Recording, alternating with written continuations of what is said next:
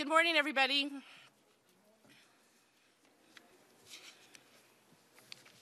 Are we good to go? Are we good to go? I heard we were having some technical difficulties. So before we get started, I wanted actually to ask uh, everyone to kindly put their cell phones on uh, silent, on mute. Doesn't mean that you can't use it. Uh, we really want you to use your phones to um, expand the conversation on uh, social media platforms such as Facebook and Twitter.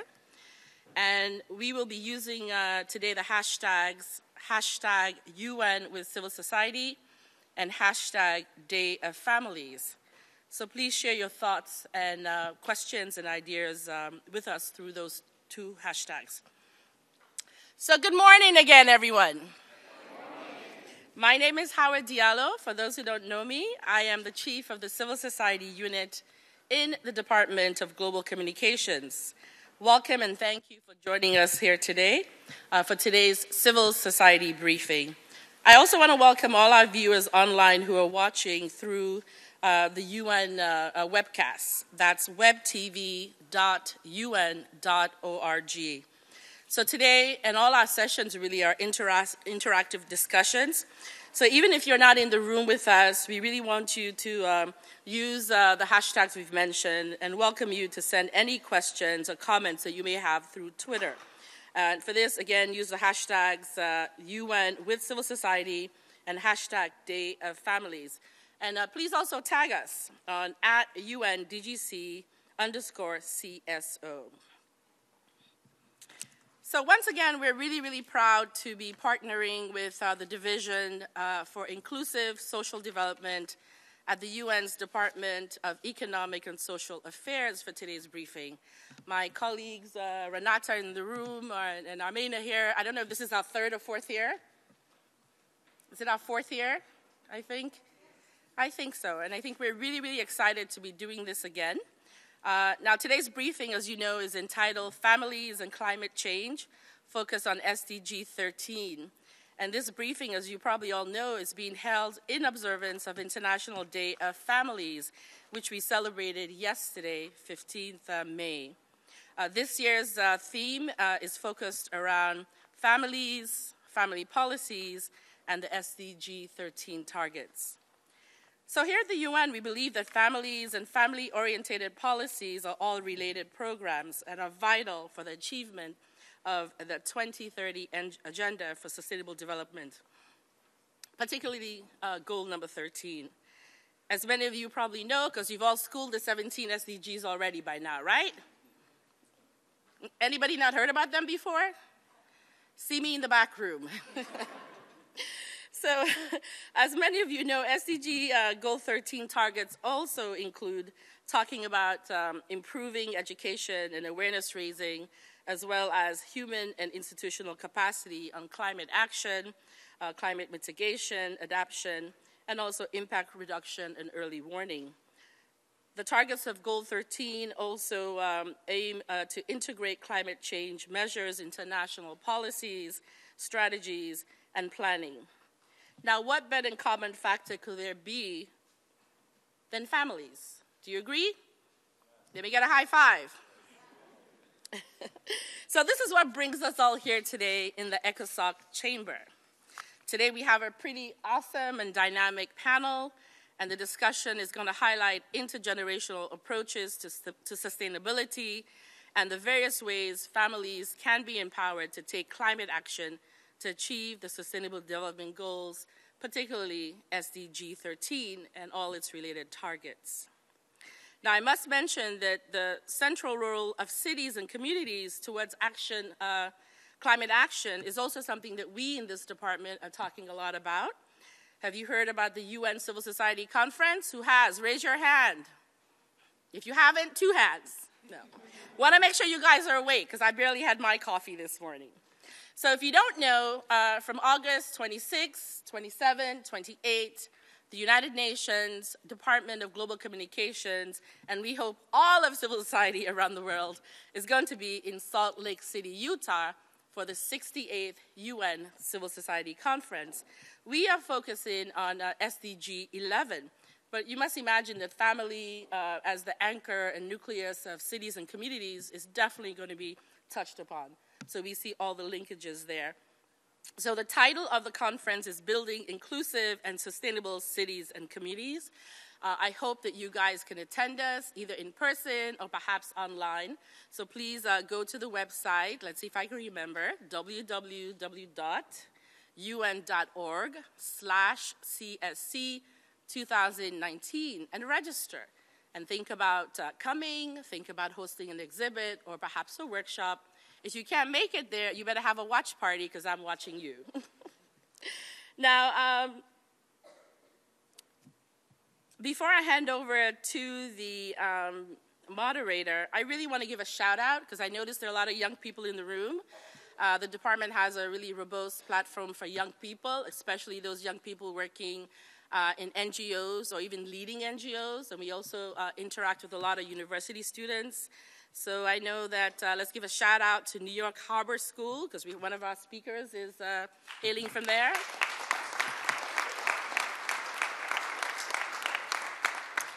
I also want to mention Fairleigh Dickinson University, a long-time uh, NGO associated with the department. Let's hear it for them. And I'm sure I missed a lot of uh, people also. I know it's finals week, so for those of us who are not here from universities, we are with you in spirit. So for the young people, use hashtag DGC Youth to talk to us because we want to hear from you. So it is really my pleasure now to introduce today's moderator uh, Mr. Ben Freer, Associate Prof- Professor from Fairleigh Dickinson University, to open today's discussion. I really wish you the best. I'm really excited. I know we're going to really get a lot of productive uh, discussion today. Thank you. Ben?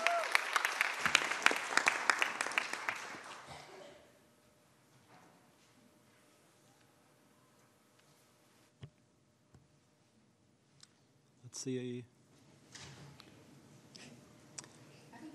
We're, we, there we go. Red is good. Green is bad. All right. Uh, so, welcome everyone. It's my honor and privilege to have been asked to serve as the moderator today for this event.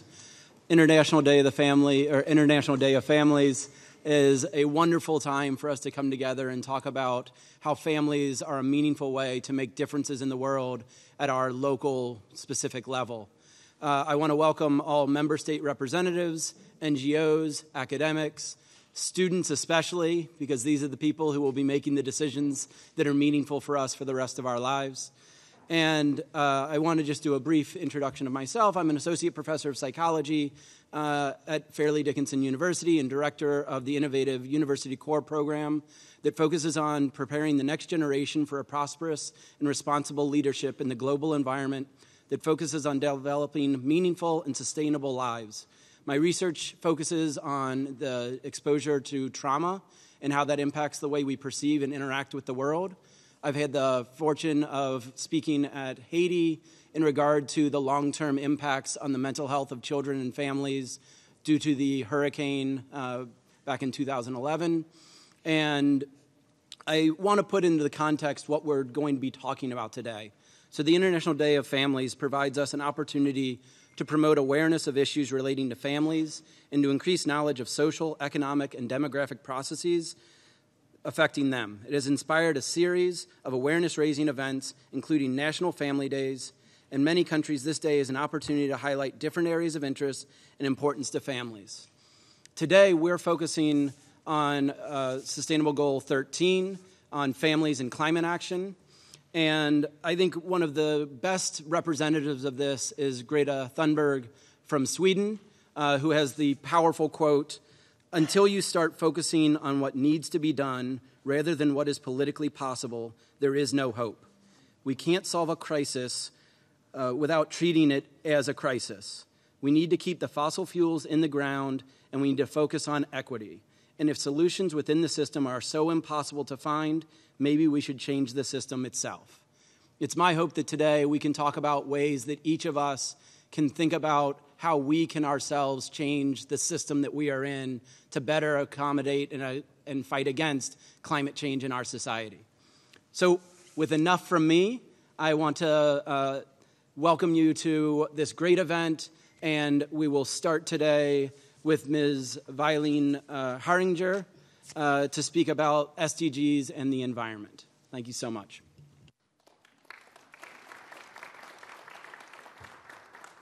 So, you're good. You're good. Yep, you're good now. I'm good. Mm-hmm. Um, well, thank you so much, and uh, good morning, everyone. I am delighted to be um, here and start the event with a bird view on sustainable development and climate action from a UN perspective um, and uh, at the corporate and the personal level. Um, I don't know if we can see oh, the presentation. I am not seeing it on my screen yet. Is it uh, possible? I don't see it here. sorry, but I can't turn every time. Um, sorry about that. I expected to see the presentation in front of me. Um, so, just um, to say that as parents, um, I think it's very natural for us to worry about the world that our children are going to be living in and the impact of our action on their future. I came to environmental management um, from uh, a love of nature, but I think it's when I had my child and seeing him so connected to nature, even in the midst of our concrete uh, jungle that we live in, mm-hmm. that uh, the importance of uh, protecting our our natural environment really um, sunk in. Um, and I believe that if we could love uh, our planet um, with the same unconditional love that we love our children, um, it would be a much better place. Um, but let's start with uh, a definition. Um, so, yes, that's the correct slide. Um, the UN has a normative role to play. We bring together people around a common um, definition and a common vision. And Sustainable Development Goal is uh, defined as development that meets the needs of the present without compromising the ability of future generations to meet their own need. And it's really the interconnection between people, five P's people, prosperity, peace, partnership, and planet. We want prosperity and we should prosper, but we shouldn't do it at the detriment of um, future generation and depleting our resources. Uh, next slide, please. Sustainability is really a global challenge. Um, if we look at uh, some of the world problem, we will see that the environment is really a common thread. And it might not be obvious initially, but let me give you an example. We can look at gender parity for, um, as one example. It might not be obvious how the environment is impacting that particular challenge. Um, but we find that um, women are disproportionately affected by a degradation of the environment and climate change. They represent 60% of the hungry. And if you think about their role in society, when there is a crisis like a drought, they are the one who will have to walk further and further to find that scarce resources for their family. And it's the same with poverty. Uh, the population that um, contribute the least uh, to climate change and to greenhouse gas are the ones that are usually suffering the brunt of uh, climate externalities. So, face, uh, next slide, please. Uh, faced with uh, such a challenge and the complexity and the magnitude of those challenges, it's very easy to feel powerless. And the Sustainable Development Goal has provided a framework by which that complexity has been broken down in pieces that are somewhat manageable and with measurable target that really focus the action. And the framework has been adopted not only by institutions and governments, but also by the private sector and cities. And everybody is really working toward the same objective, which is very powerful in itself. Um, as we as we uh, talked about, uh, climate action is goal 13, and it has risen on top of the international agenda. And I would like to invite you to hear from uh, our Secretary General, uh, himself on the subject with a very short uh, speech. If we can now show the video on the next uh, slide, please.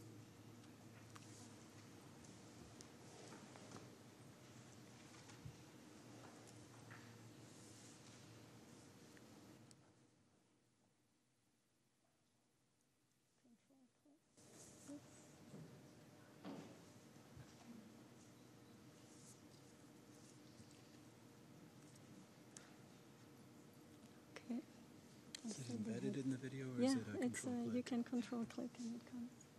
And I thought it was, uh, they had tested it.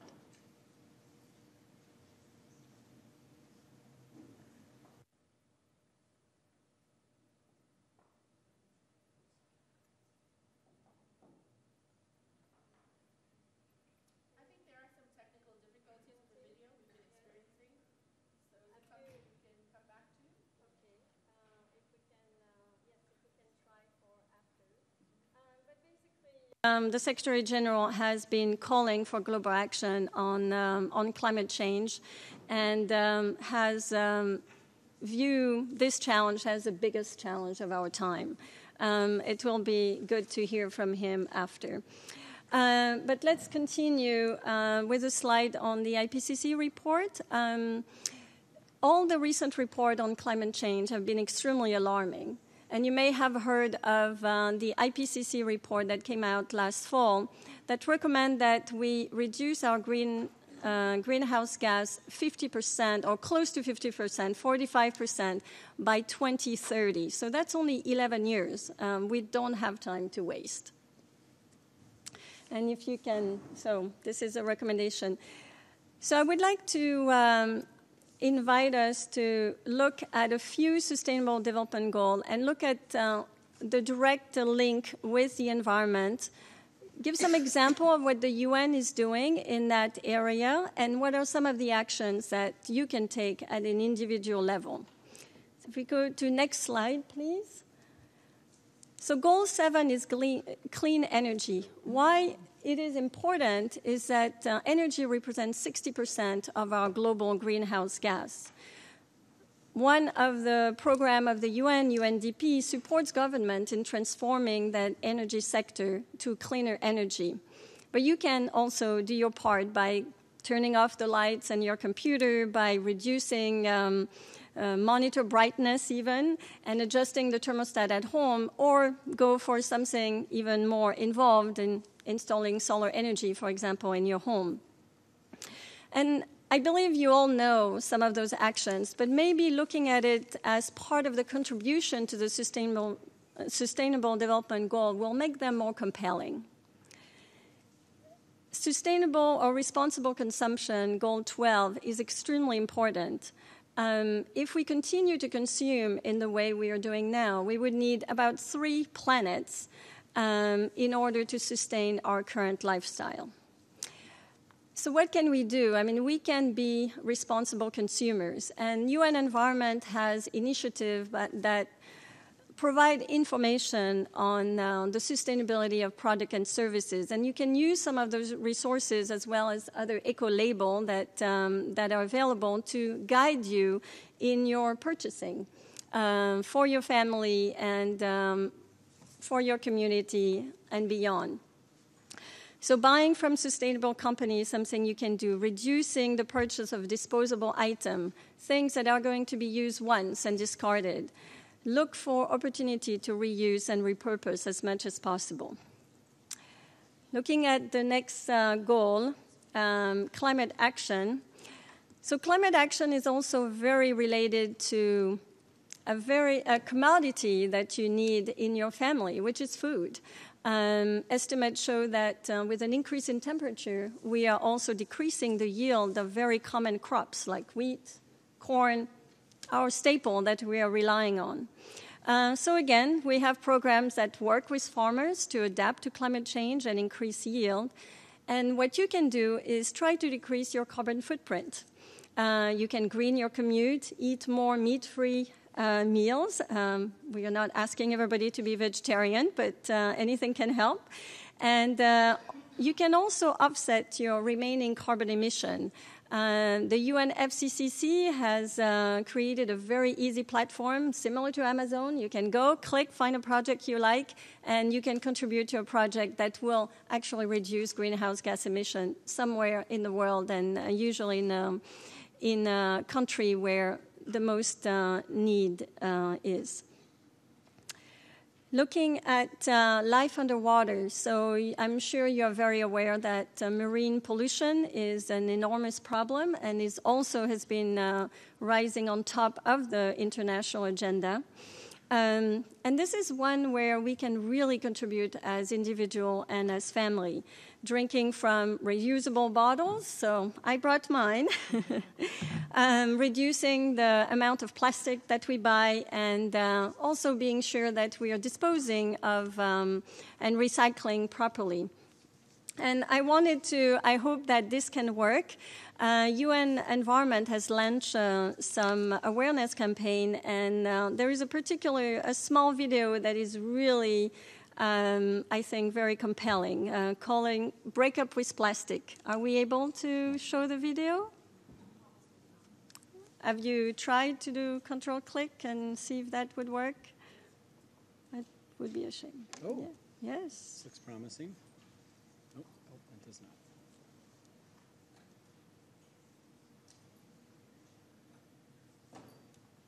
Let's give it a minute, and if not, we'll just continue. Oh, this is bad. Doesn't seem like it's working. I think we're to have. Oh my God. Okay. Um, okay a, a, few. Okay, so I will uh, continue. Uh, one of the last goals I wanted to touch upon was uh, life on land, and drought and desertification is taking away land that we could use for uh, food, uh, food production. Um, and we have programs that are looking at um, deforestation and uh, reducing um, carbon emission from, uh, from this degradation. You can support those forestation efforts. You can go paperless. You can look for labels that uh, ensure that what you're buying is from uh, sustainable uh, forest. Um, I don't have much time, but I just wanted to touch upon some of the work that is being done also internally to improve the environmental, man- the environmental performance of our operation at the UN. Um, the UN, uh, if you could have the next slide, sorry. Um, the UN has adopted the climate neutrality strategy, which aims at being climate neutral by 2020, which is right around the corner. Um, and this is done through measurement, reducing, and offsetting any unavoidable emission. When we look at the retrospective uh, of the past 10 years, we can see that a significant efforts has been made um, throughout the UN system. And one of the tools, next slide please, one of the tools that we have adopted is uh, a systematic approach to environmental management. So um, using um, international standards like ISO 14001, which prescribe that we should integrate environmental consideration into all of our business processes and business system, and it should be a continuous loop of improvement. And just to make it a little bit more concrete, next slide, please. Uh, at UNHQ, we have assessed our environmental impact, and uh, we did a lot in terms of energy, water use, paper use, uh, reduction in the range of 60 to 80 percent, uh, as well buying renewable energy. But we identify waste management as one of our priority. And by using a systematic approach, next slide, please, um, we can tackle, we were able to have a very significant result in a couple of years, um, touching upon all the different aspects of, uh, and, of uh, waste management, plastic reduction, um, sorting of waste with centralized waste station being introduced, looking at opportunity to reuse, and also managing the end disposal of our waste. So we don't have any waste going to landfill. We are trying to maximize recycling, composting, and the rest is actually converted into energy. And this is, as I said, it's a continuous effort. We, uh, we don't stop at one end. It, it's a reiterative process. So I'm very happy that uh, in June we are looking at eliminating uh, most sources of single-use plastic, um, especially from our cafeteria operation. And I will close by inviting you to view the world through a green lens. You can take that environmental perspective in your personal life, in your family, in your communities, in your workplace. And it's not about being dogmatic, it's about looking for opportunities for change, progressive change, in your area of influence and action. And there are a lot of resources. I've just listed three from the UN, UN Environment, where you can find that video that we couldn't, uh, we couldn't show you. Greening the Blue, that is more focused on action at the corporate level and behavioral change and the Act Now campaign in the context of the Climate Action Summit the uh, Secretary General is convening this September, and my colleague uh, will tell you a lot about that uh, later in the program. Thank you.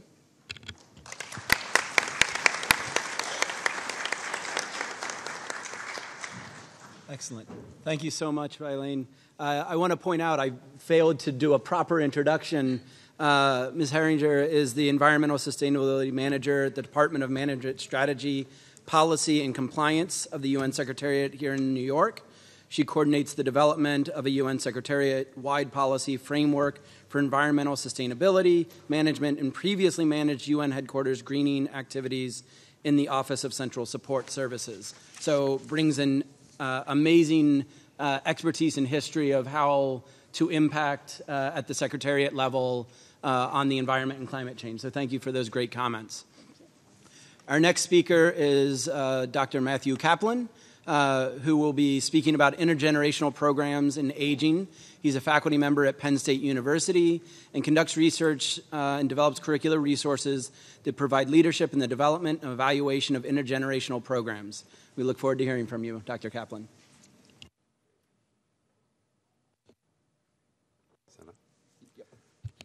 Okay, uh, thank you, Dr. Freer.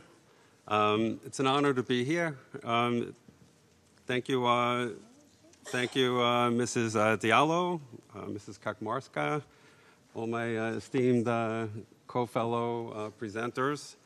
So um, let me dive right into it. Next slide, please.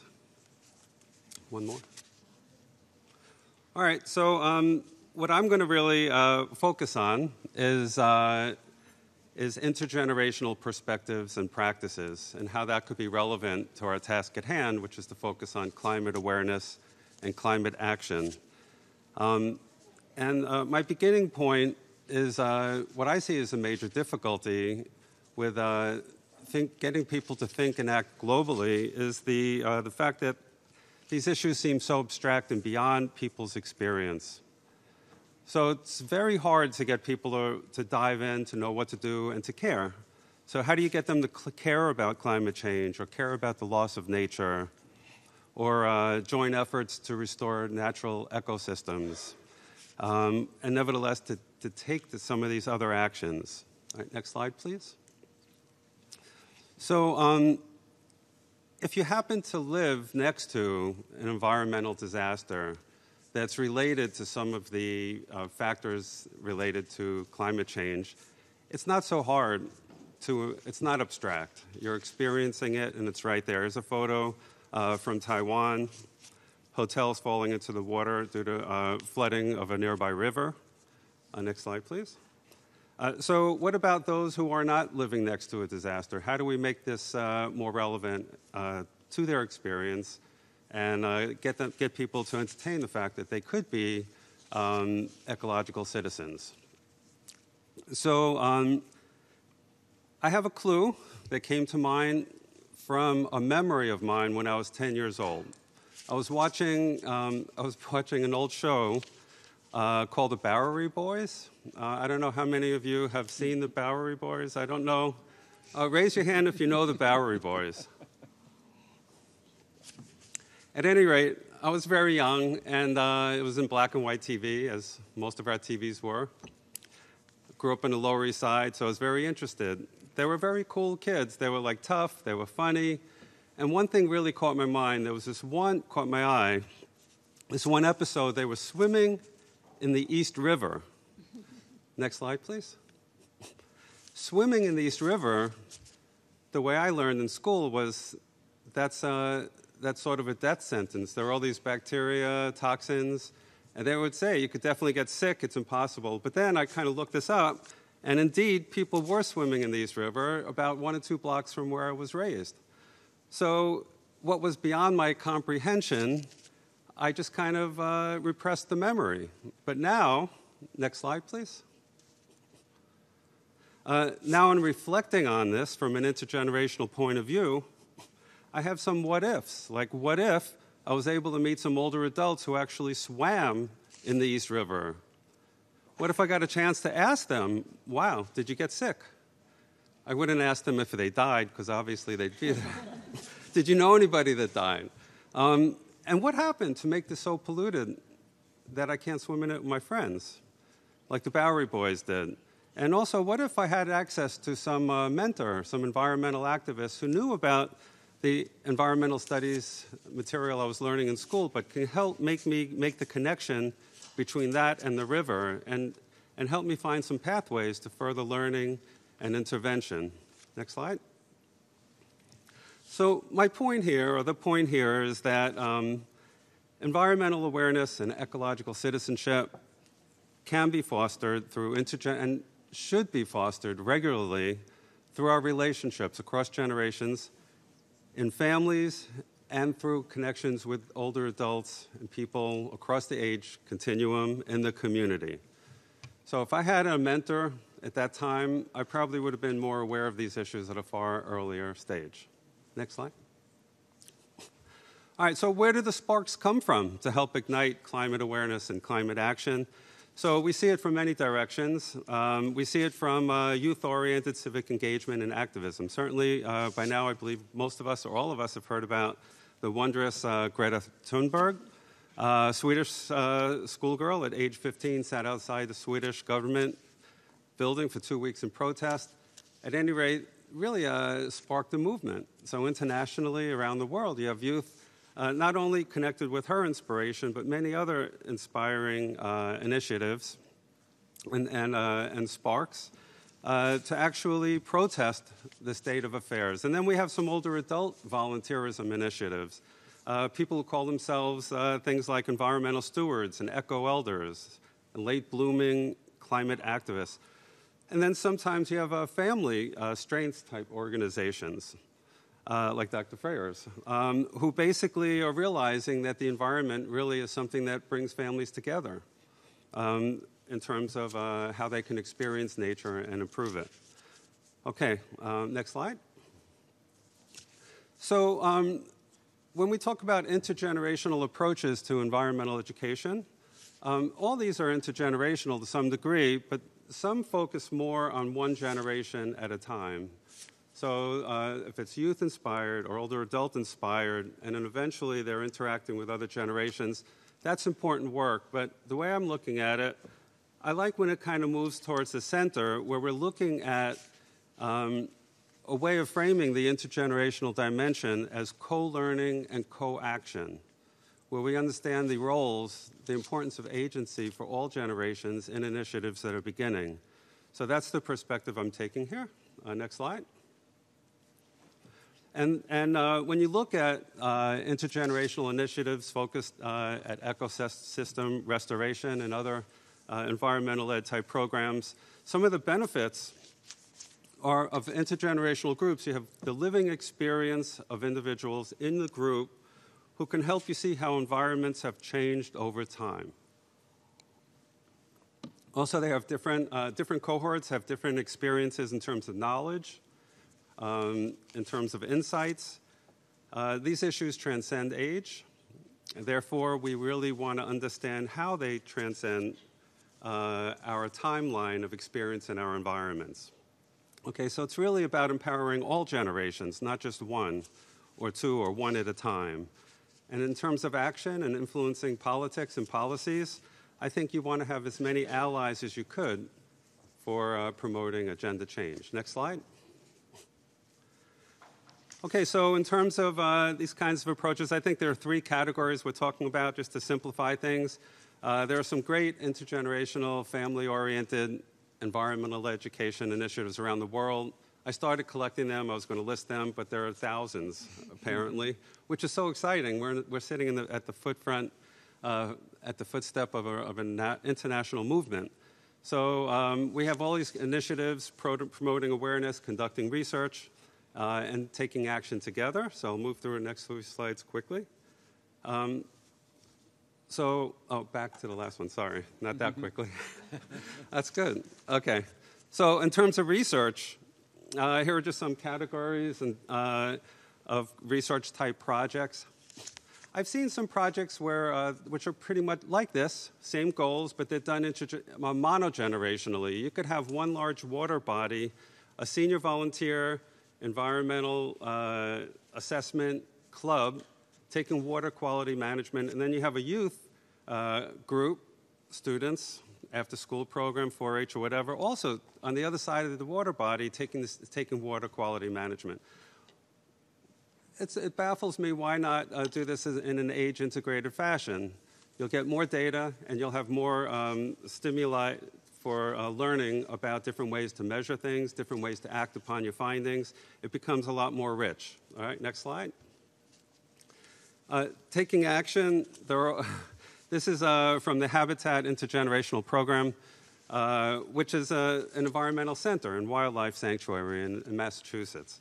So uh, families get families happen to come. They love this place, and they're making it their business to um, to improve and plant uh, trees and so on, native uh, species.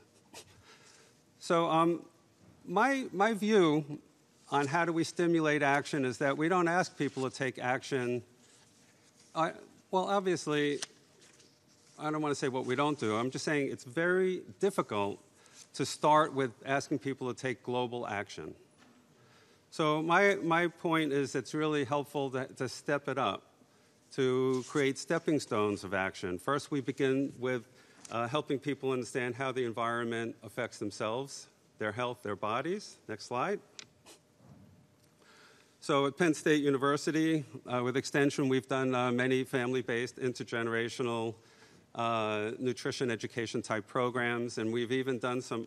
We have a program called Fridge to help people, families talk about food and uh, work as teams to eat more healthfully. We did one of these 16-hour uh, programs over a weekend on a farm, which added the uh, the health to family to environment connection. So one student who went through that her quote was, We saw food growing. So, to understand self in the context of environment is the beginning. Next slide.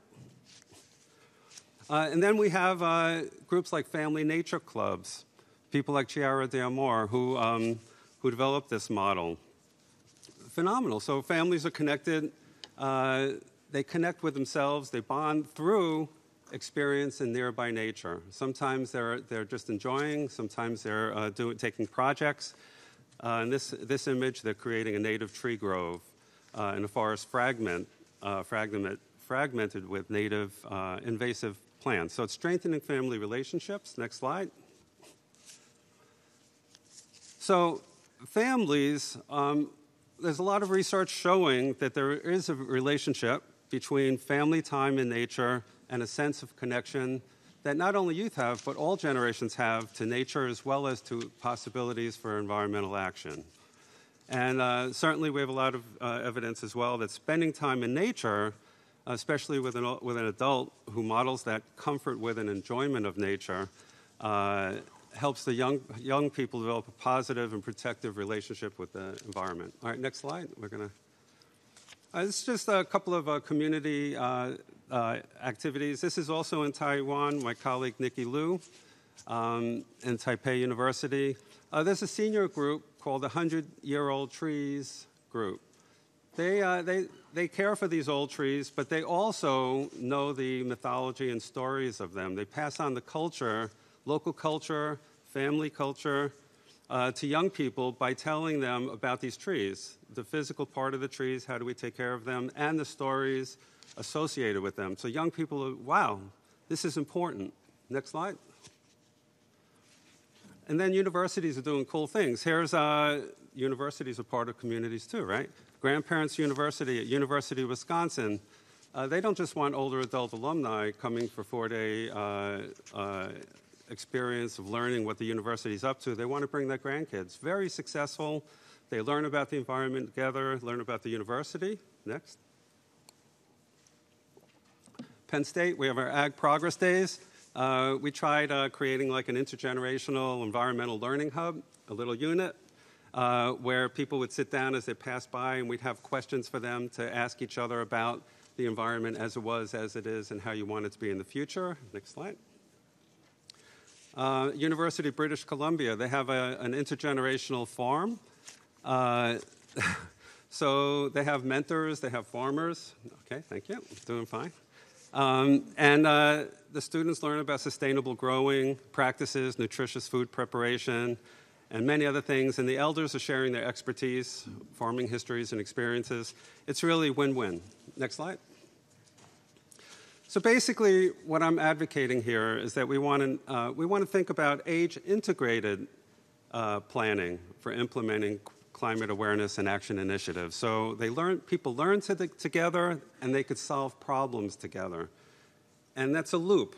You learn, you take action, and what you learn from action, you go back to learning. We can't do it alone. Um, next slide.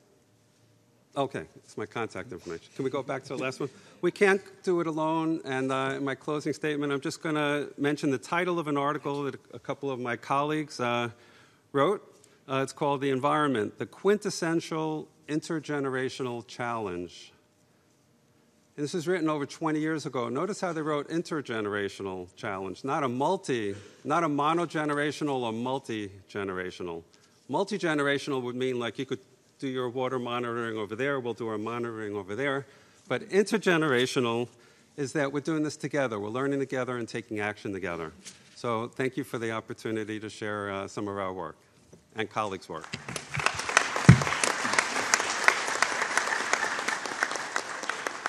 Great. Thank you so much for your comments, Matt. This is uh, very interesting work.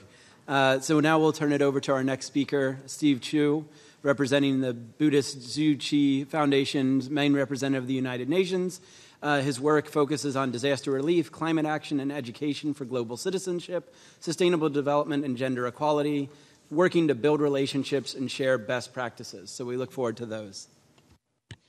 Thanks, Ben. Uh, and hello, everyone. Thank you to the organizers for having me, and happy International Day of Families to everyone present here today.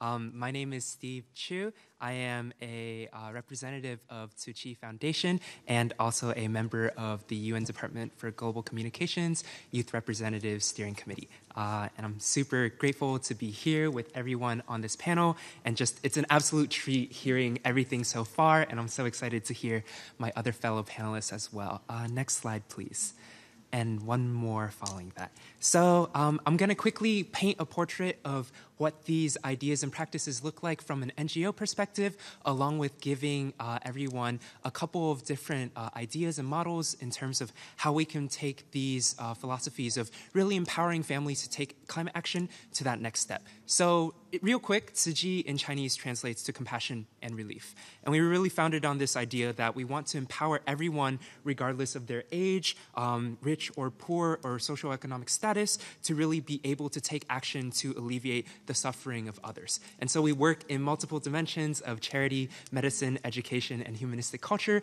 really to try to deliver this comprehensive approach to helping someone who is in need, whether they are across the ocean from us or right next door to us, and recognizing that we all have that innate capacity to take those actions. Next slide. Um, so we were founded in 1966. We now work in 98 countries with about 10 million volunteers. So in the 53 years we've been doing this work, uh, we've really tried to empower those who are uh, vulnerable to help those around them uh, as well. And so this is kind of the frame that we exist in. Uh, next slide, please. So in the past uh, some years, since 1991, we've been reaching out beyond our uh, own spaces and our own communities to really engage in disaster relief. Um, and in doing this disaster relief work, we really saw the um, impacts that climate change can have on the fragile lives that we all have and how it can easily disrupt someone from a perfectly normal life and shatter everything into uh, a sense of hopelessness. And so, since then, we've really been working on uh, climate action and environmental protection to try to uh, the growth of climate change and prevent the extremities of disasters from getting even worse and impacting uh, even more people. Uh, next slide. So, uh, recognizing that climate change and climate action uh, within the Sustainable Development Goals, as Violaine had so beautifully put it, a lot of uh, the methods are very intergovernmental. And so, while we have to hold our governments responsible for the actions they are taking um, and what they've promised to us in Paris and recognizing that from what the IPCC has recommended, we need to do even more, ramp up even more urgent climate action. There's still a lot to be done on an individual level, and we can't just stall and wait for the governments to solve all of those problems for us, right? Because at the end of the day, governments are made up of individuals, which are made up uh, which make up families. And so, if we can target the empowerment of families and individuals, we might be able to add additional um, pressure onto our governments to really see that the tides are shifting beyond what is already present. And so, I want to raise uh, this beautiful idea that the Sustainable Development Goals in their creation are truly deeply interlinked. Um, SDG 12 and 13 really go hand in hand, and I want to paint a portrait of that for you. Uh, next slide. So, uh, the climate emergency that we face right now really requires an additional lens, a shift of mindset. Um, and so, uh, Violaine had mentioned the green lens, and I want to add an additional lens we can put on our eyeballs, which is the global citizenship uh, lens. And so, uh, if we want to define a global citizen, we could say, in this context for what I'm speaking today, it's an individual who recognizes that they're a part of a global community and takes action at, on not only a local level, but moves all the way up to a global level, kind of through the steps and practices that Matt was just explaining to you earlier. And while recognizing we're part of this global community, it isn't to say that we're homogenized. We all have our own diverse cultures, our heritages, our nationalities, and those are all precious and we should cherish them, but also recognize that we are all part of the same planet. We all share the same fate. And that shared prosperity is something we should collectively work towards. And so while we work for people, planet, prosperity, peace, and partnership, we should ensure that we aren't uh, doing so at the expense of the most vulnerable. Um, so, next slide. So, at the end of the day, uh, we're really here to talk about not only the international solutions that can be present, but the grassroots uh, solutions that we as individuals can take.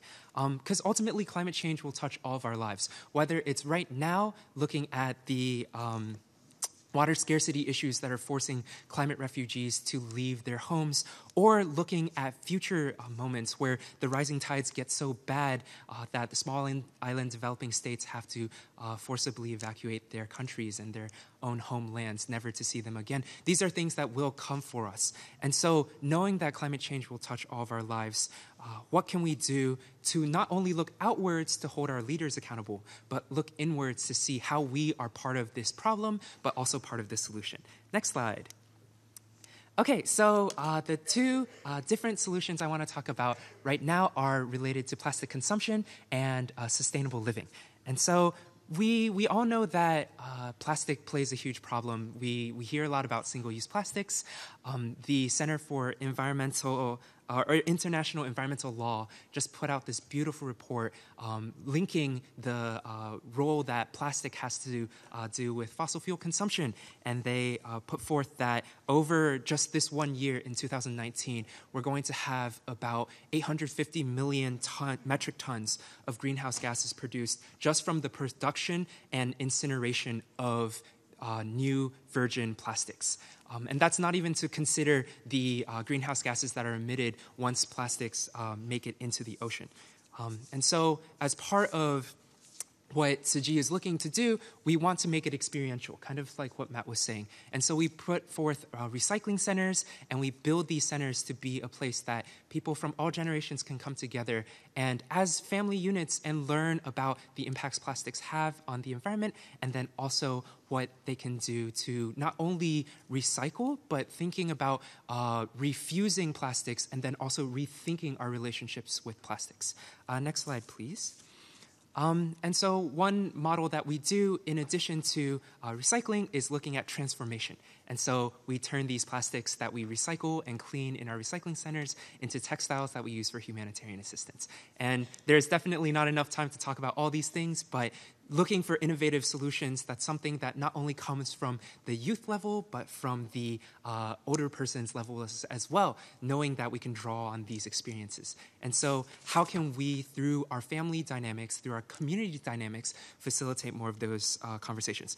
Next slide. Um, and then, so maybe in the brief moments that I have left, finally, I'll talk about sustainable living and really this idea that we we see a lot of uh, news on climate change, and this notion that there's a lot of climate despair within our own individual communities.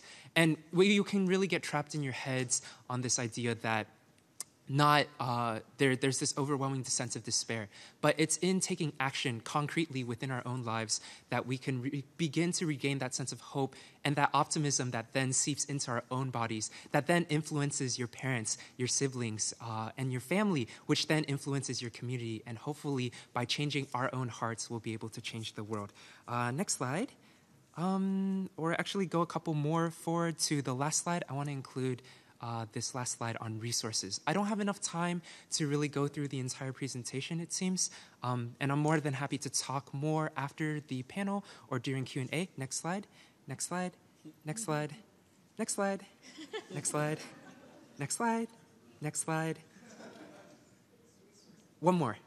Yes, beautiful. Okay, so if you want to, oh, uh, one, more one, one, more back. back. If you want to get more involved uh, in anything related to uh, climate action, particularly with families who uh, have parents who don't necessarily uh, have access to that information want a great place to start, these are some fantastic places to begin, um, whether that's some of the material that our organization has put out or some of these great links that uh, go towards resources and informations. Um, and I'll just close by saying that um, final slide over we have a quote that I really live and breathe by, and it's this notion that everything, whether it's from protecting the earth to doing good for humankind, really begins with ourselves and in turn begins with our families. So, looking at how we can foster more understanding and dialogue within the family unit will really bring forth greater understanding for what we can do collectively. Thank you so much.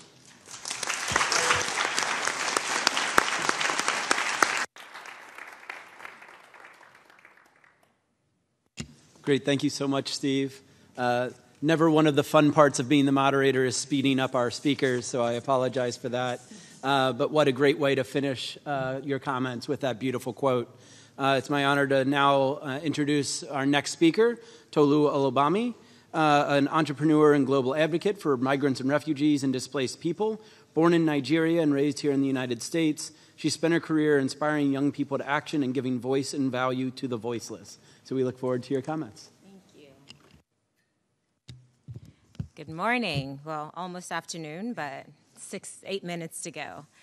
How's everyone doing? All right, you're gonna have to come here with me. I, I need some energy. So please, I need some excitement. How is everyone doing?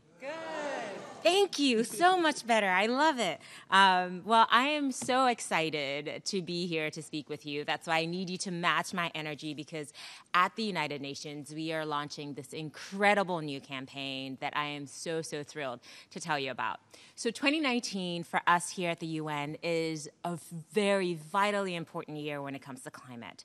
Uh, we, as the world, 2020 is really a benchmark for us, a deadline for us to, to turn things around around. And so 2019 sets us up to be able to do that.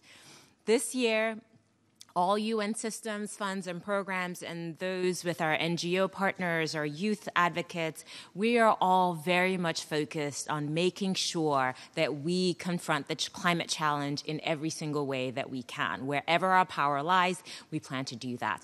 With that, the Secretary General is uh, planning a climate summit this September, on September 23rd. And this climate summit is going to bring leaders together, not just to talk and decide and think and um, but really to make commitments towards acceleration of the Paris Agreement. Now, in the lead up to that, the Secretary General found it very important to have you and I, and every single one of us who is not necessarily a head of, a head of state, but has the power to confront the climate challenge, to get involved. Your voice matters, your actions matter, and our campaign that we're launching is an opportunity for you to use your voice and your actions in support of the United Nations, in support of, of our planet. We all know that climate activism is growing. Several of my fellow panelists have shared examples of activism on, on climate around the world, from the school strikes to the trash bag challenge, et cetera. You know, a lot of people are very focused on climate right now. At the same time, there are folks that are not engaged on climate. So you have those that are climate heroes by every um, every um, every measure that you can use. Um, they are climate heroes, and then there are those that don't understand what the relationship is between climate and the fact that up until what yesterday it was 40 degrees in New York in May. Uh, you know, so it's like there's climate, there's weather, there's all these things. They're interconnected. How does that? How does that all work? And how am I involved in that? How can I support that? Well, to that, our campaign not only raises awareness but also allows you to take action. Act Now is the United Nations global call to individual action on climate change. It is a critical part of uh, the UN's coordinated effort to raise awareness, ambition, and action for climate change and to accelerate implementation of the Paris Agreement. As I mentioned, we've seen everywhere, uh, we see people taking every opportunity to step up for climate, whether with their voice, their vote, uh, and in many cases, their actions. With Act Now, a primarily online and social media campaign, we plan to educate and encourage individuals mainly by adjusting consumption patterns to confront the climate challenge. So, what do I mean by that? Well, the decisions we make every single day affect our planet. Every choice we make affect our planet. From the food we eat to the clothes we wear, all of those things have an impact on, on, on climate. So we are asking you, knowing that all of those things have an impact on climate, to make the best possible choice of actions that have as little impact, negative impact on the planet as possible. We are going to be using AI technology to spur behavior change when it comes to climate action. So we've developed, uh, and this is for us at the UN, very, very cool. We're so, so excited because we're not always at the cutting edge of innovation um, and technology, but in this, we are, we are thrilled. So we have developed an AI bot uh, that will encourage you to make those, uh, to, to make those changes in your habits and your consumption patterns. Within this AI bot that is currently being piloted on Facebook Messenger, you will have 10 actions that each and every one of us can take every single day to confront the climate challenge. So it would recommend things like a five minute shower, um, recommend uh, you know the five minute shower or buying local and seasonal produce, uh, you know. Um, recycling, your water bottle, uh, etc. And with that, you not only get these recommendations and get insights of what these actions will have on the climate. It will give you information on that. You'll go. You'll. It will ask you for information. You'll share information. It will help. It will recommend actions to take. But more than that, it gives you the opportunity to log those actions that you are taking. And why that is so important is because the more people act, the greater the impact. And with this AI bot uh, that we've developed, you will be able to log your climate actions along with those of people around the world and be able to show, come September at the Climate Summit, the world how many of our global citizens are already eager and engaged on climate. Now, I know that we are unable to show the video demonstrating the bot, but you can currently see the piloted version of Facebook Messenger. If you just go to actnow.bot, um, you can see the piloted version on Facebook Messenger, um, and that will immediately start allowing you to log your actions. We are planning a lot of exciting gamification and ways for you to really connect with the UN on, on the campaign, um, but you can take a look at that now. Right now, there are about 120 actions that have already been logged, so please make sure yours is one of them. In addition to the Act Now bot, we also have two mini campaigns that focus on two industries that touch all of our lives every single day food and fashion. The fashion industry is a $25 trillion industry and considered a top user of the natural resources and polluter in the communities where it operates. When it comes to food, what we put on our plate affects the planet. Since we all eat and since we all wear clothes, hopefully, um, this is an opportunity for you to confront the climate challenge by what you choose to put on your plate, by what you choose to wear, and how you choose to do it. I am fast running out of time. I'm happy to talk to all of you um, after this panel. There's so much more that I'd love to share about this exciting campaign, but it is pulling together corporations, the entire UN system, um, institutions, young people, old people, me, old people, you know, everyone, uh, because there's something that we can all do, and this is an opportunity for you to join hand in hand with the work of the Secretary General directly. Thank you. Perfect. Thank you. Thank you. Perfect. Thank you so much, Tolu. Uh, so, our final speaker, I'm very excited to introduce uh, as a high school junior here in New York City. She studies marine policy and environmental advocacy at New York Harbor School on Governor's Island, a very new school that is trying to actively uh, act against climate change and introduce uh, and teach the young people how we can engage with the climate in a more effective way. And as we'll see, the youth is really the ones that will be teaching us how is the best way to interact with our environment. So, Paula, thank you so much. It is an honor to be speaking here today on behalf of not only New York Harbor School, but on behalf of my fellow youth and future generations. I would like to give a sincere thanks to Renor Janey, the youth coordinator who has brought all of us here today, as well as the UN Foundation all to discuss the importance of international climate change and intergenerational sustainability. This is an incredibly important time for the civil society briefing to be held. However, uniform progress on the implementation of the 17 SDGs has not met the expectations and may not reach the lofty 2030 time limit. More so than ever, we face the ever looming certainty that life as we know it on Earth will cease to exist in a few decades if nothing substantial is done to prevent climate change, poor waste management, and other damages. Planet Earth will inevitably face irreversible damage, such as being pulled closer to the sun.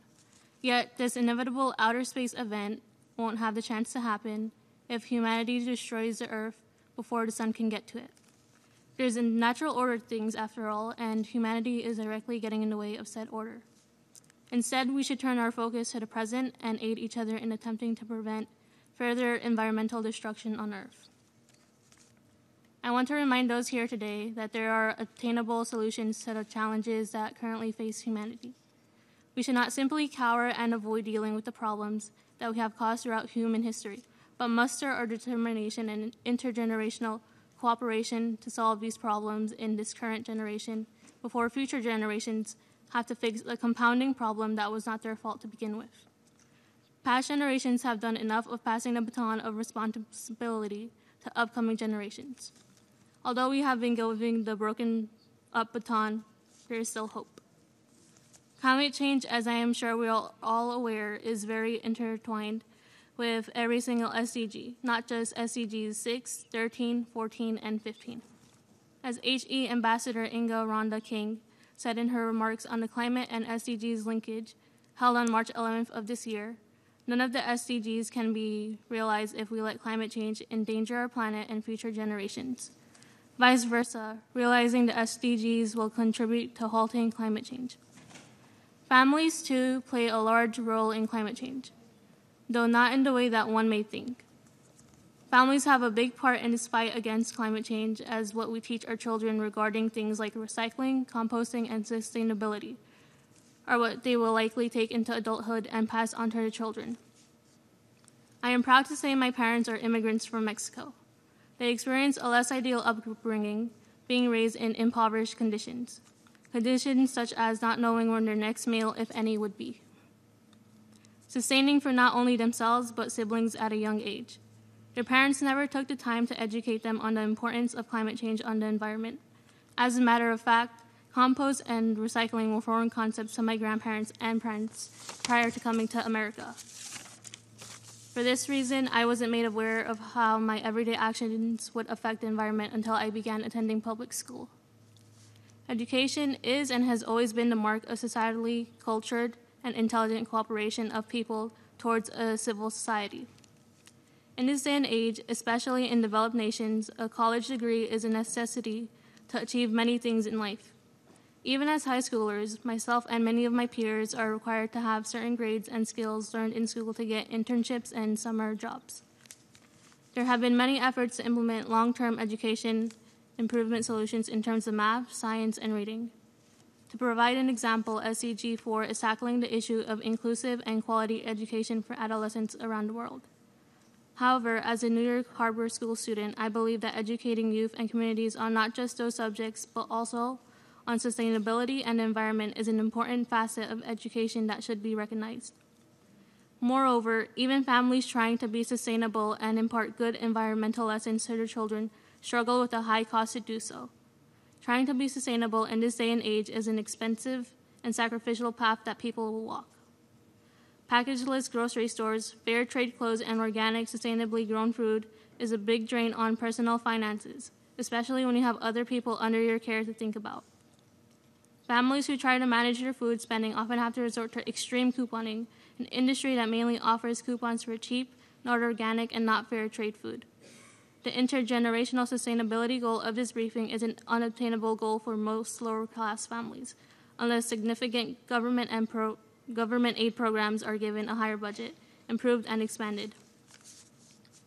I truly believe that achieving the amazing goal of sustainable family farming practices in third world countries is not only doable but crucial. Living in New York City, we purchase our food and produce from big supermarkets or overly expensive farmers markets. This creates a wide gap between us and our food. We don't get to see how the food is grown or what kind of feed they're feeding the farm animals. Are these ca- are these eggs really cage free? Are my potatoes being sprayed with mass amounts of dangerous chemicals to ward off bugs? These are questions that people have to ask themselves when they are, as a consumer, removed from the raising and growing of their food. I'm positive we would all love to believe the commercial ads that attempt to make us believe potatoes have a magical way of fixing all of our problems but the ugly reality is hidden away from the general uninformed consumer.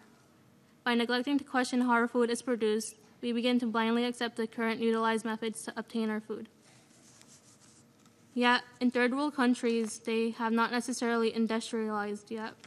The relative lack of infrastructure and high demand of goods in these places means that they can live in simpler and less economic driven lives.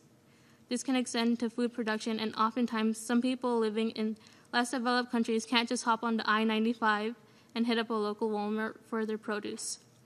From an indigenous perspective, this is a great thing, as it means that people can grow and be responsible for their own food. They realize where it's being grown, who's growing it, and can share the fruits of labor with neighbors, thus creating a system of self dependency and organic sustainability. Developed countries are assets in stepping in to broaden and improve the system. From observation, I have noticed that many New, York, New Yorkers are interested in sustainable farming practices. Governor's Island has experienced families flocking to the Grow NYC teaching garden.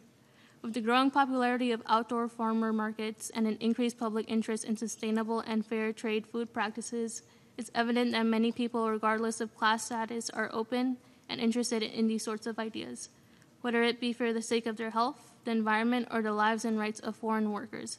SDGs 2, 12, 14, and 15 are related to these ideas, and judging by the recent progress of the Equator Initiative, the Green Commodities Program, and the UNDP UNEP Poverty Environment Initiative, these issues and one similar to it are already being tackled in governments around the world.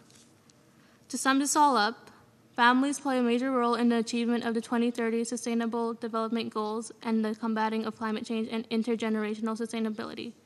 I'd like to acknowledge and give thanks to my mother, Antonia Rodriguez, for coming here to support me, New York Harbor School's principal, Jeff, for allowing me to represent not only my marine policy and environmental advocacy CTE, but my fellow youth in this environment. Furthermore, I would like to thank Rob Markuski for helping me throughout my years at Harbor School to gain a passion and appreciation for the conservation and protection of the environment. I would also love to personally shout out Athena Murray, a current junior enrolled in the same CTE as I, and who also happens to be my great friend. She played a huge role in helping me write these remarks, and I can't thank her enough for that. Thank you for your time and have a wonderful rest of your day.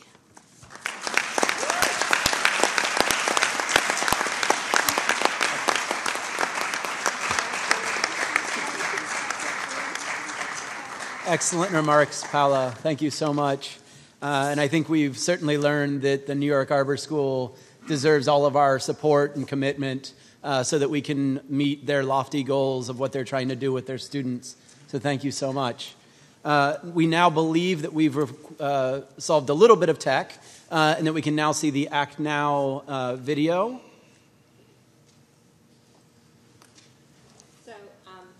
let's see. Do you want to introduce it for us maybe yeah, again? So this is, sorry, let's see. All right. I think you can hear me now. Um, so we're just going to show a quick demo of what the bot looks like, how it works, etc. Um, it's going to look a little different um, when you when we relaunch it at the end of May. But I can talk you through I can talk you through it now.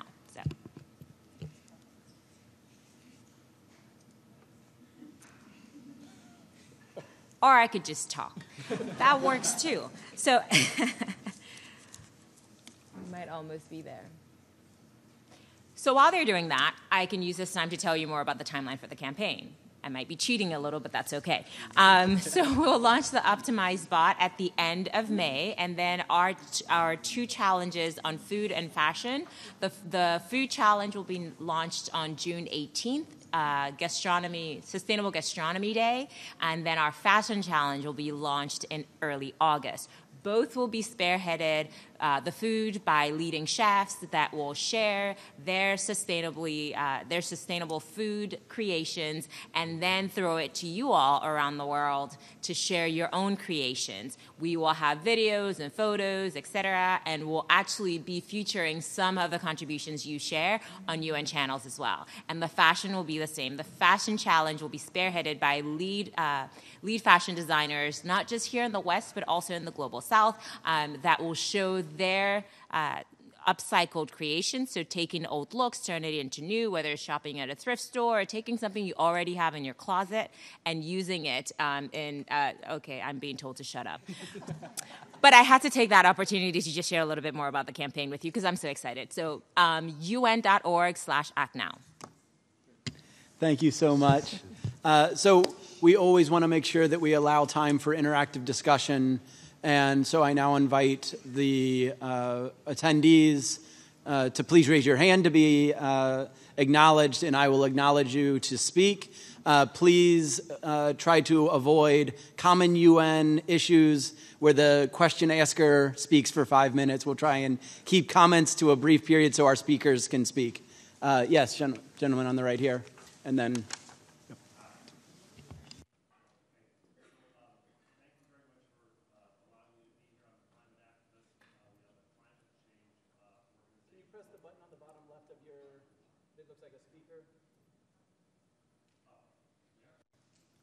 Oh, okay, great. Oh, much better. Okay. Hi. Um, uh, thank you very much for allowing me to be here. Um, I'm a climate activist. I have worked in partnership. We have a campaign called 2020 or Bust. And the campaign is designed to bring the climate crisis into the hands of ordinary people so that they can actually see the specific actions to take in the specific time frame to end it. And we've worked with the authors of the UNEP Emissions Gap Report, many great colleagues at the UN. And the fact of the matter is, is that if 500 million people over the next two years take specific cli- uh, carbon reducing actions, we can actually get on track to ending the crisis. So we love working in partnership with you. We have an app called 2020 or Bust. It's the only app that actually puts the uh, power to end the climate crisis in ordinary people's hands. Uh, again, kind of in terms of what, like your pro, uh, program, you go in, log your actions. Everyone on the app is aggregated all around the world, but it's all inside of this next critical two year time frame. Because I applaud all of the work that the UN is doing, but we've got to be aware that it is grossly insufficient to ending the crisis in time. So that's why this next two years is totally, totally critical. We are bringing this to the ordinary people. We've got a campaign called Don't Let the Planet Get Hotter Than You. We are making ending climate change sexy, attractive. We're going to get to the people that watch the Kardashians, the people that would never come to a conference like this, because that's who's going to make the difference. So thank you for the opportunity to be here. We definitely want to impact families. 2020 or bust. Download the app. Thank you. All right. All right. Uh, yes, and the gentleman to your left. The organizers of the event today. Um, um, just to also thank all our presenters. You guys are wonderful.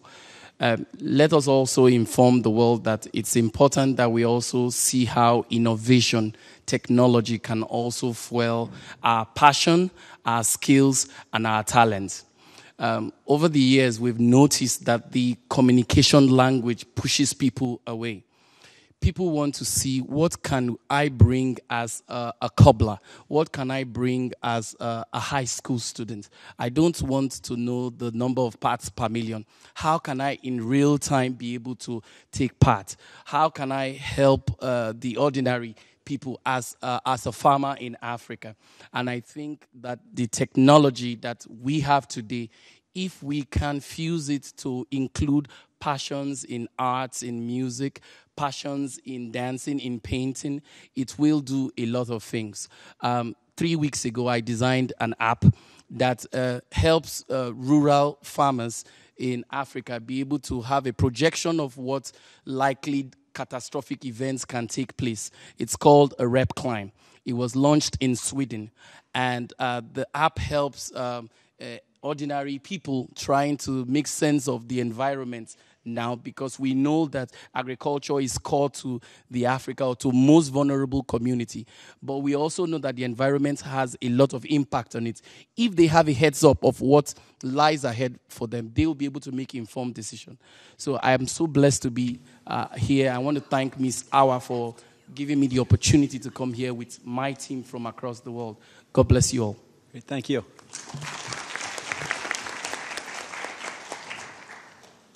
Uh, I see. Uh, actually a, a, student hand over here, so if you'll. Uh...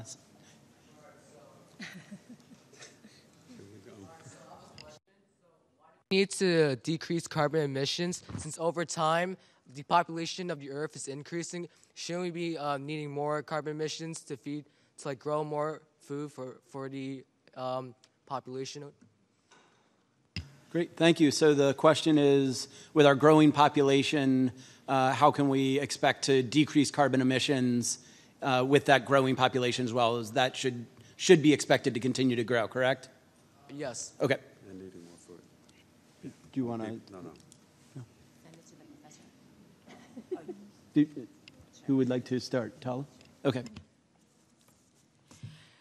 Fantastic question. Um, but i think when we look at climate, we have to look at it in a holistic sense, right? So addressing the climate challenge is a part of a whole. When it comes, uh, my colleague here talked about the SDGs and how it is building blocks towards a better planet. So, confronting the climate challenge means eating more sustainably. It means more uh, responsible production and consumption. So, even though populations are rising, uh, there are opportunities where there is significant waste, um, there's significant pollution. We can look at those systems and address it. There, there are also areas where poverty is what's leading to some of the carbon emissions that we're seeing as we address poverty, as we address uh, production.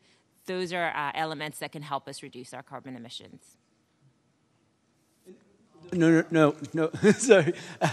um, so I would add to that that when we're thinking about carbon production and carbon emissions, that the goal doesn't have to be the complete eradication of carbon um, but that rather we're thinking about how can we be responsible stewards of the world that we are living on.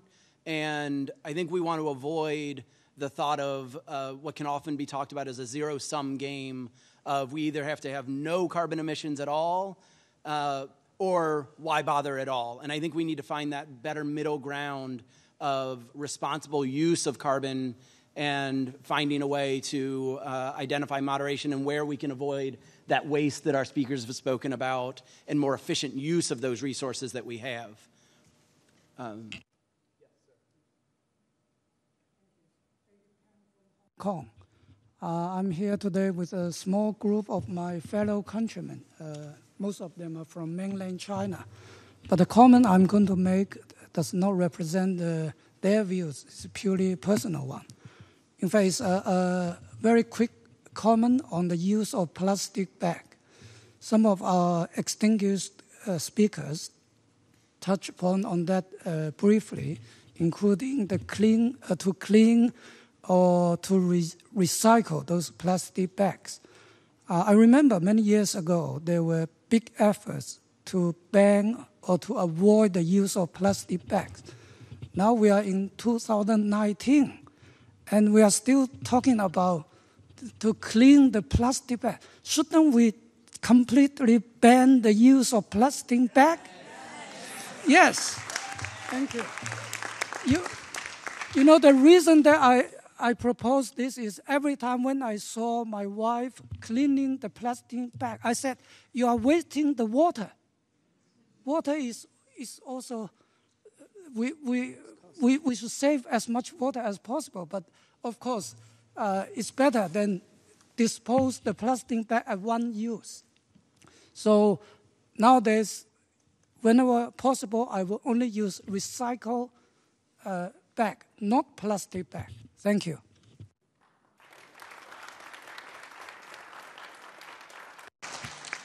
Uh, we'll go up top and then I'll come over to you next. Yes, yes, sir.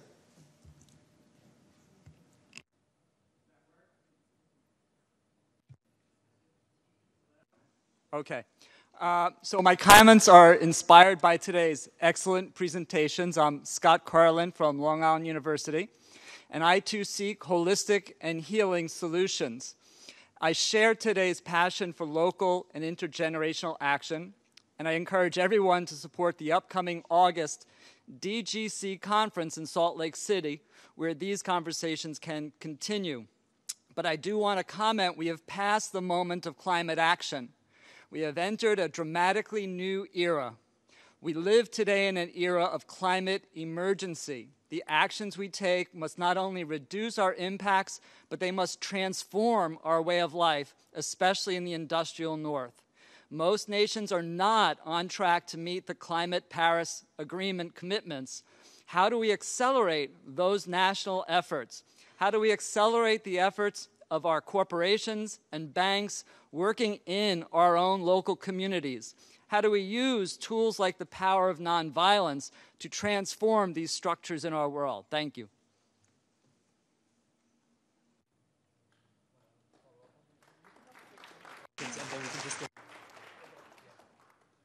All right. Uh, yes. Wait till it turns red. Uh, the, the light. Almost. Give it a second. There you go. Okay. So my question is centered around rising economies and rising populations. Obviously, in Africa, that is becoming more and more industrialized, um, and the populations are going to rise. So, how will the UN like encourage the nations down there as they're developing to become more green? Will it be like I don't know handouts, uh, money, or will there be I don't know what are the solutions being proposed right now? Great, thank you. Is that something?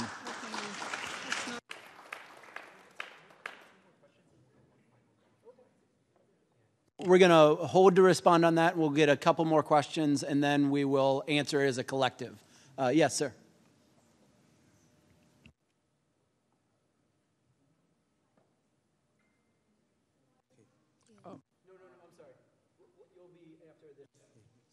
Thank you. Um, uh, how would uh, all of you realistically convince people to completely change uh, like their way of living? Because I forgot who, but um, somebody said that uh, changing this wouldn't be easy and it'd be a big sacrifice. How would you convince the people who aren't willing to um, change their way to do so? Because it can be like really expensive and wouldn't really like suit them, you know. But yeah. Great. Thank you so much. Uh, now, yes.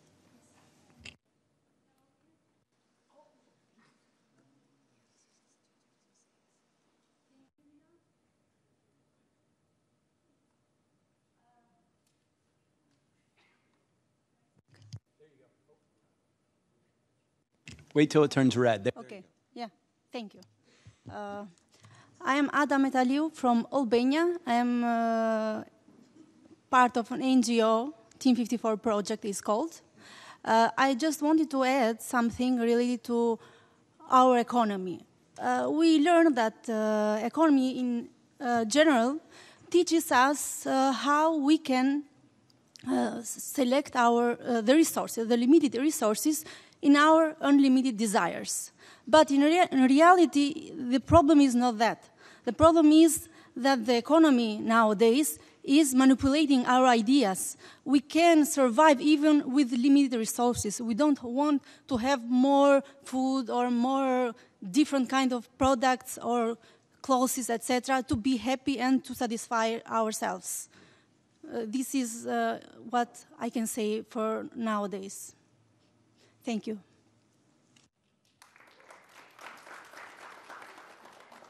Uh, yeah, straight ahead, and then we'll come over to you.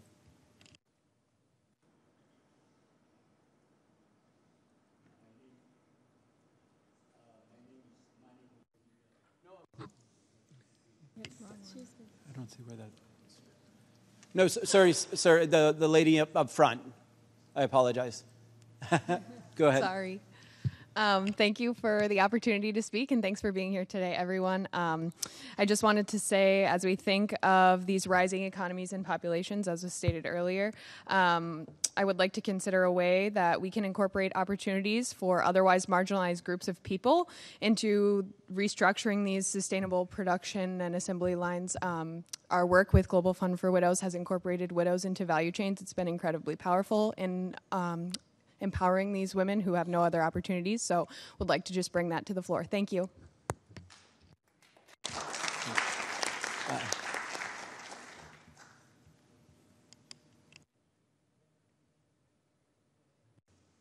Um, hi, I just wanted to bring up another topic. You guys were talking about plastics and advocating, but you didn't say anything about like CSOs or PCBs in the water that are also really affecting it. So I was wondering if you're going to advocate for those topics in any way. Thank you. Do I turn this off? Yeah, so we have to kind of sum up the questions, and then we're going to let the speakers just kind of start. We'll, we'll start with Tolu and move on down the line. Uh, question about developing nations and industrialization, and how we can think about the developing nations and how they can, uh, what attempts can be made to uh, develop in a green way, uh, how to convince people to make difficult choices about the environment, um, and then the CSO, PCB, and water uh, issue as well. So, Tolu. Thank you. So, those that are oftentimes at the at the front line of the climate crises are not necessarily those that cause the climate crises. Those that are feeling its effects hardest are not the ones that are the biggest contributor to the problem. Um, and so, as we ask people to make sacrifices and to make change, it's important that yes, we all do it together, but it's also important to make sure that those that were are still at the front lines of creating this crisis um, have a lion's share of the responsibility when it comes to changing their habits and making those sacrifices. Um, and I think in the West, that is something that can be done, and that is something that should be done. Uh, you look at the global South. You when you think about our campaign and upcycling and buying um, and not buying new, and you look at individuals uh, in in a lot of developing countries that are already doing that, right? Um, but not by choice. Um, you know, they're recreating using what they have because what they have is all they have. Whereas here in the US, 40% of the clothes that we have in our closets we never wear. Um, so I think there is an opportunity f- there for us to be a leader on, on this issue um, and to take to take our cues and to take our points from those that are already doing it right, even though they're suffering the hard, they're suffering the effects of climate change the hardest. So, uh, thank you so much for all of the fantastic questions. I think, given the time, we can't answer all of them, but I'll do my best for what I can put forth. I think, in terms of banning plastics, I'm 600% for it. Um, as an individual, I think as an organization, we really look to try to create opportunities for individuals to come to understand the impacts that plastics have on their environment. And through that mindset shifting, hopefully that creates more pressure on a policy level. And to answer uh, Scott's question as well, maybe looking at how we can better collectively organize. I think a lot of times there's there's pockets of climate movements, whether it's frontline communities advocating and they message a certain way, and then there's different climate groups that come from like more of the private sector reform style. And how do we get everyone to really come together and communicate? And it's in finding those shared commonalities that I think we'll be able to find those final puzzle pieces that we need to push forward the momentum. Finally, I think to touch on just transition and equitable inclusion of vulnerable populations, I, I think with the uh, momentum that we're seeing with the renewable energy uh, field and space, we know transition is coming. Sustainability is the next forefront, it's our future. But how we transition isn't guaranteed. Is it going to be equitable and just and include people whose lives have been built on the um, the uh, fossil fuel industry? Are we including them in the transition to ensure that they aren't being left behind? If we do so, then I think we'll have a future that is bright and just. Um, and finally, just last thing would be individual action is great, but how can we as individuals, if we're already doing all that we can in terms of individual behavior change, how can we facilitate the behavior change of others? It's not by telling others to change, it's really shining that light on how beautiful these changes have been for us and leading by example and creating spaces for others to experience that as well. Thank you so much.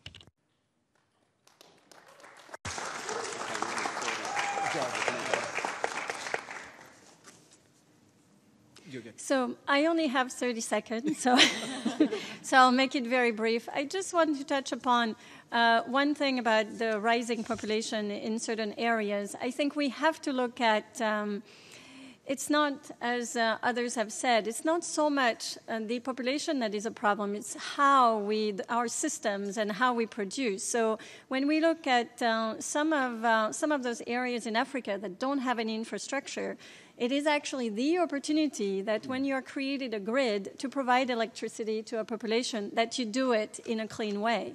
So in that way, the population can increase, but still, um, the energy that will be provided will be um, uh, reducing greenhouse gas overall. So I think we have to look into this and innovation as uh, other speakers have uh, talked about. And I just wanted to touch a little bit upon that idea of sacrifice. Mm. Um, because I think we have to try to turn things around a little bit and not necessarily talk about it in a negative way. Um, we had uh, we had an event um, some time ago with a speaker who has banned waste in um, in their family, mm. and she's they are basically living with just a few clothes that they can sort of repurpose, and they have found that the simplified life.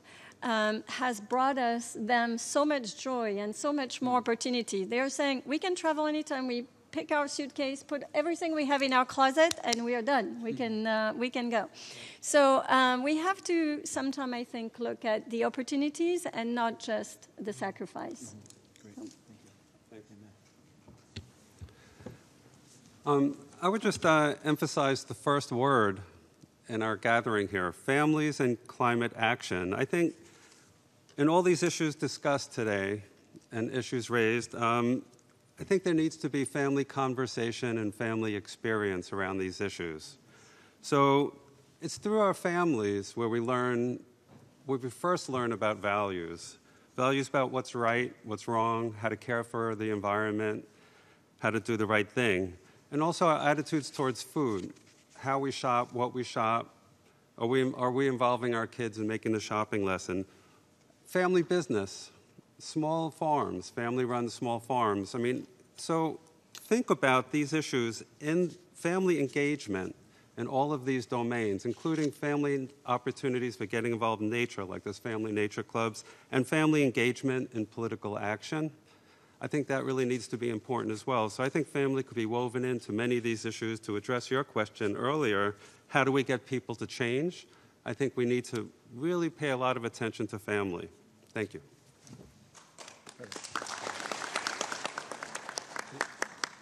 So, thank you all so much for attending today. Uh, I want to, of course, thank the organizers for this event, uh, the terrific Renata Kaczmarska, uh, focal point at the UN uh, for families. Uh, she is terrific and a joy to work with and is a great force for families. And then I also want to invite Hawa Diallo uh, from the Civil Society Department of Global Communications to provide our final ending to this great event. Thank you all for your attendance.